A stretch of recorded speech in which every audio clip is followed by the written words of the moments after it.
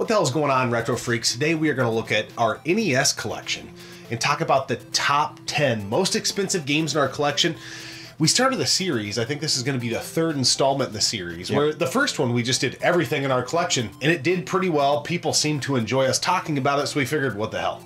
Let's just dive into the consoles. Yeah. Uh, so NES, we got a lot of awesome bangers for the NES, but what's wild is we didn't pay full price for a lot of these. Uh, the one I will say the one our biggest, most expensive game Yeah. we did pay full price for, but we flipped our way to it and essentially got it for free. Yeah, so those of you who've been around for a while, you know what that game is. Yes. But stay got- tuned nonetheless. We got a lot of games to talk about, ten games to talk about, and all the games totaled up. Sixteen hundred bucks. So we got Pretty some rippers. Let's jump in. Number ten, the most expensive game in our NES collection. Here we go.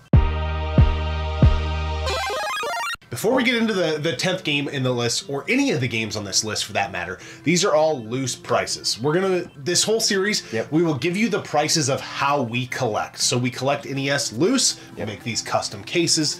Did a video on that a long time ago. But number 10 is Darkwing Duck coming in at $69.99. Yes, that is wild, kind of pricey, but the same price as like a modern video game. And I'd rather play Darkwing Duck than a lot of other Mm-hmm. Yeah, modern like modern video games. This game is pretty cool. Capcom, a Disney game, platformer. This is a game we got when we bought like a big bundle of stuff. So Yeah. we, uh, we got it for pretty cheap, I would say. If you broke it down, I don't know exactly, but less than probably 69 bucks. This game's pretty good though. It's awesome. Uh, the, a lot of the Disney Capcom games on the NES Oh, are, are really dang good. But this is this is up there. It's top of the heap. So I just like I like the colors, I like the Yeah. way it looks, I like the way it plays. A lot of NES games they are just they're simple and they're fun, and especially like those Disney Capcom Yeah, and I love the color palette of Darkwing Duck. Yes, That darker yes. little like detective purple and black. I'm a big fan of the colors. So yeah, this is this is one of my favorite Capcom Disney games. Uh, let's move on to number nine.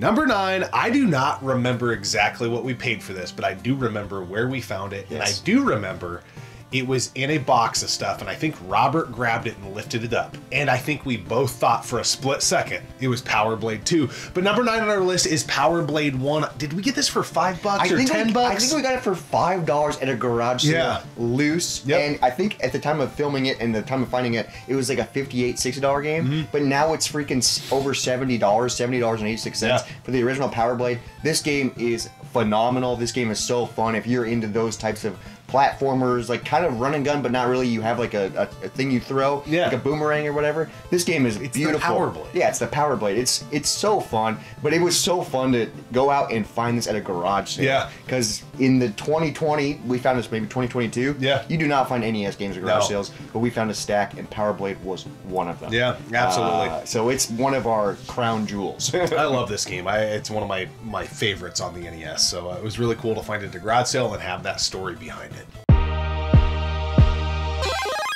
Number eight is another NES game we got from when we bought that huge lot of stuff, Mm-hmm. and this game is so fun. I didn't even know this game existed until we bought that huge lot, and that's GI Joe: Real American Hero. There are two GI Joe games for the NES. This is the Real American one.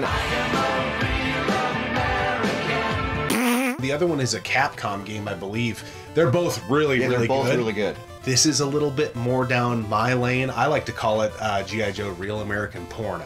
Yes. But this game is, is is a damn good game. It comes in at seventy eight dollars and ninety two We're approaching a hundred dollars Yeah. just for loose cart wise. This game is really good. It's really tough. I do like how you can switch between the different characters. Yeah. They have different abilities. The boss fights are cool. This I think is my favorite GI Joe game on the NES. This game is so much freaking fun. It's a bucket list to beat this game. Yeah, I would It's rather really have this one than the other one, but the other one's still good. Yes. So we're not shitting on that. And we got this in a bundle, so again, we got it for way cheaper than what it's going for. It's so wild how we uh, acquired some of these games. Yeah, you know? yeah, they, yeah. they just kind of happen, and now we are sitting on some gold mines. you Yeah. know?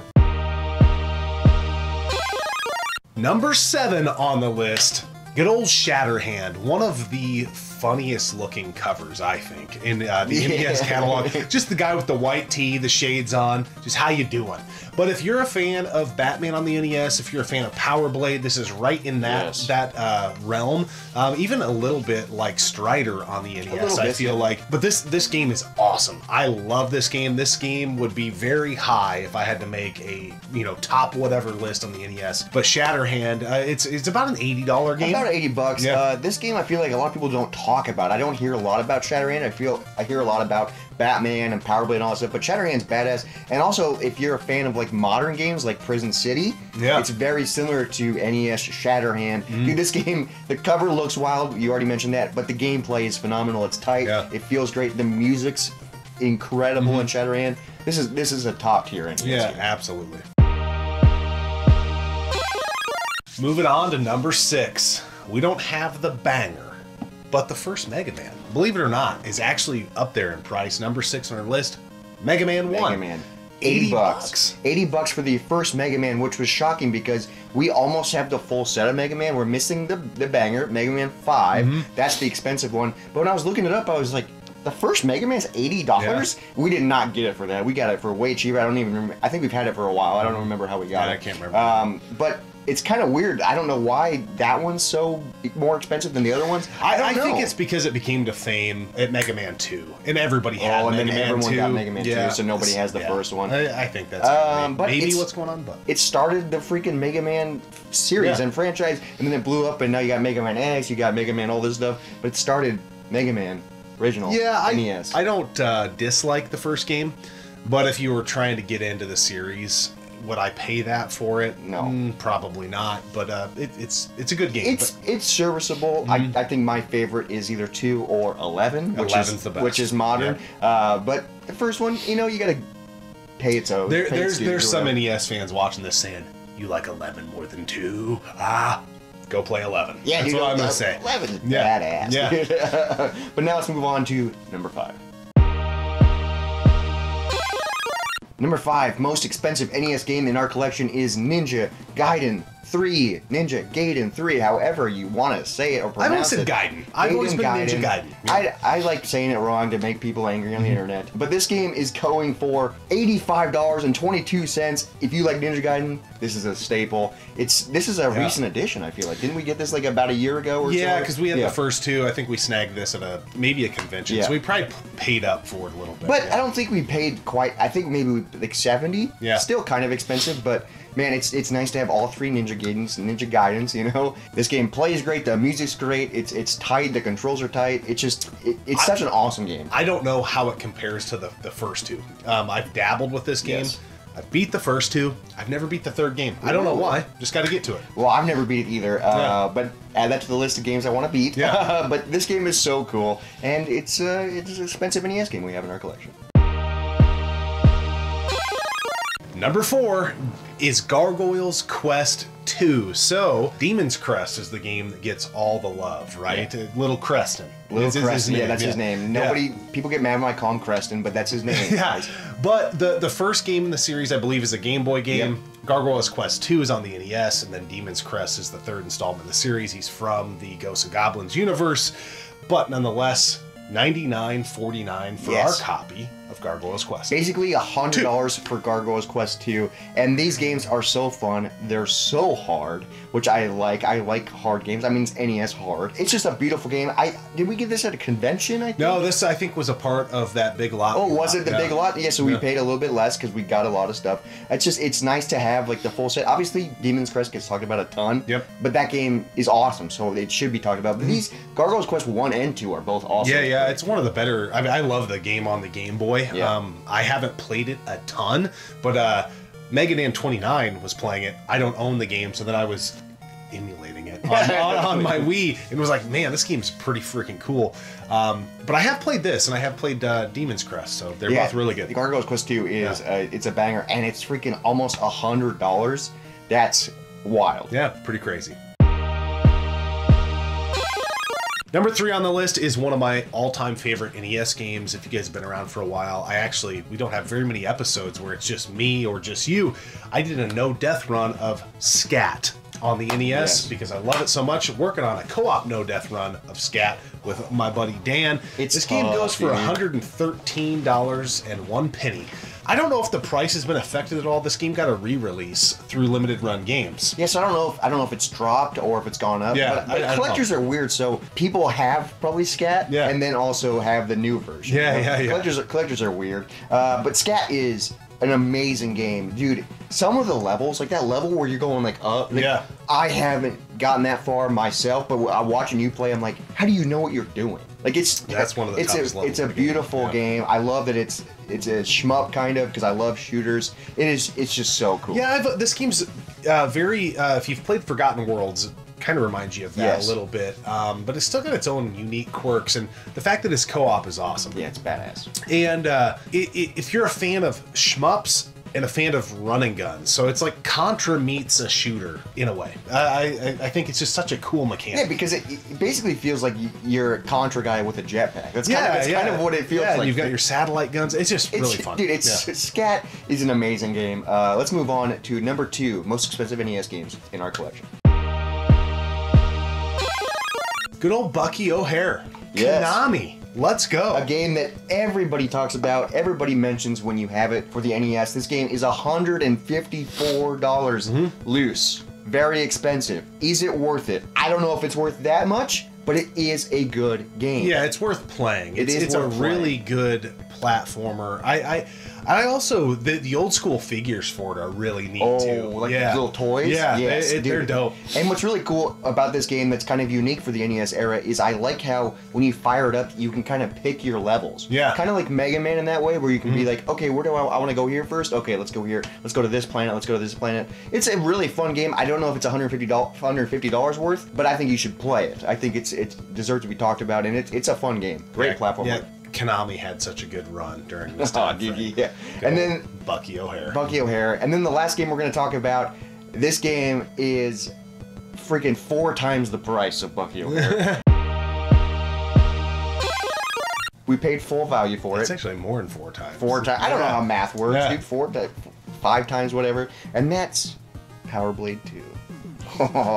a crown jewel Yep. in our NES collection. Two years ago, I think, we flipped our way towards this game, so we got it essentially for free by going to garage sales and selling stuff on eBay. This game is phenomenal. Yeah. Again, I don't know if it's worth a $850, Yeah. No. but I think you should play it. Yeah. Emulate it. Yeah. Uh, but this game is so fun. It's tight. It, it, I think it's better than the first Power Blade, and the first Power Blade is also Mm-hmm. incredible. I just love the way it, it plays and it performs. The music's really great. I love the colors. It's it's very similar to like Batman and all that stuff. We've already mentioned that when Yep. we talked about the first one. But when we got it, I was like, oh my god, it's Yeah. real, dude. Playing it's a true joy. It's a great NES game. Um, I do want to shout out Retroware though. The, the game Prison City. If you Yes. if you're into Power Blade One and Power Blade Two, and you're like, well, I would never pay eight. I wouldn't pay eight hundred bucks for it either. Had we not done the series and flipped our way to it. But Prison City is such an ode to these Power Blade Oh, yes, games. it and if you haven't played it, I, I just want those guys to get money and keep doing this stuff Yeah, dude. because it, it was an awesome ode to the Power Blade One and Two games. highly recommend Prison City and also highly recommend Power Blade 2 and Mm-hmm. Yeah. Power Blade 1. I- I think it was like what wasn't it like one of like the last NES? I don't know if it was the last one, but It was- it was a, a it was later a later release, release, yeah. so it, there wasn't many out there, so that's why it's $850, but it's so insane, dude. Yeah. it's like one of those when you go to a convention and you're looking at tables and you're like it's in the glass case and you're like, Yeah. "Oh my god." I think when we were at SoCal Retro Gaming Expo, we seen somebody that had a CIB. Which Oh, is, yeah, I don't even know what that's going for. but yeah, yeah. and this yeah, 850 loose, Yeah, I want to say it was almost two grand. yeah. yeah, I mean, that's cool as hell. Yeah. But I Yeah. wouldn't pay that. No. Um, I just I'm into playing games, but Power Blade 2, holy crap! It was such an achievement to get it. Yep. Such an achievement. We're working on a NDR of it. Mm-hmm. We're working on freaking just beating it. It's it, dude. This game is so good. yeah. So good. So fun. Speaking of fun, it is time to review this beer from Barntown Brewery. This is a brewery we've covered a lot on the channel. A lot of sours, obscure, Yes. weird type of sours that they do. This is just straight down the, the old proverbial path. It's an ode to the Drake Bulldogs. Yes, so we live in Des Moines, Iowa, and there's a college called Drake University. It's a private college, and their mascot is a bulldog. Yeah. So then this brewery, I, I don't know if it's a collaboration, but I assume so, with uh, the Drake College, the official beer of uh, Do Great. So I think Do Great's like a non-profit organization that Drake University does. Yeah. This beer probably helps with that. Spike's Ale. It's a golden ale with a bulldog on it. Yeah. What do you think? Very vanilla. Middle of the road ale, lager esque taste. But also, it's a golden ale, so Yeah. I wasn't expecting. No, I wasn't expecting something weird. No, yeah, I wasn't. I wasn't like, oh, this is a PB and J sour. yeah. No, it's a golden ale. It's it's pretty good. Mm-hmm. Again, I I don't lean towards this style of beer that often, but I will say it's it's nice and clear. Yep. It's a nice easy drinker. It is creamy. Yep. It is smooth. You do get good taste. You do Yeah. get. It is refreshing. Like if you go to like a, a Drake basketball game and you got this, that'd Yeah. be fun, dude. Yeah, Like absolutely. sometimes breweries have to make just staples and standards Yep. and then they can make crazy stuff Yep. so this is like if you're into gold nails or just regular beer like it's definitely a tier above like you know a junk lagers and Yeah, that stuff yeah, but, for sure, for but, sure. but this is really good Yeah, I think it's it's uh, refreshing. Is how I would say. Um, would I seek this out all the time because of what I like? No, just like you, Yeah, I'm not exactly. into like golden I don't really. I don't ever buy those But you know in so the that- realm of the style it's doing, it's it's, I, it's I- good. yeah, I think I think it scratches the itch if you're into that style, and also mm-hmm. it'd be great on a hot summer day. It'd Yeah. be great like if you get done mowing the yard, or Yeah. or it's just because it's light, it's refreshing. It's like, Yeah. and you don't feel heavy. I drink a lot of IPAs, and those are heavy. Yeah, yeah. so I'm used to that feeling. But yeah, this is I'm enjoying this, and it's it's kind of cool that they're partnering with a nonprofit that's local. Yeah. So that's always that's always fun. an enjoyable beer, an enjoyable console. Oh, I love the NES. Dude. Love the NES. Uh, happens to be uh, one of our most favorite things to collect for, and uh, the first console we both ever played. Yes, Yeah. which is wild because I was born in '94 and you were born in '86. Yeah, it's pretty crazy. Eight years apart. in the comment section below, let us know what's the crown jewel of your collection. It doesn't have to be the most valuable, but what's the game in your collection that you are the most proud of for the NES? We would love to know. Chop it up in the old comment sections. You know how we do. We appreciate you tuning in, subscribing to the channel. We'll catch you on the next episode of the one and only Gaming Off the Grid.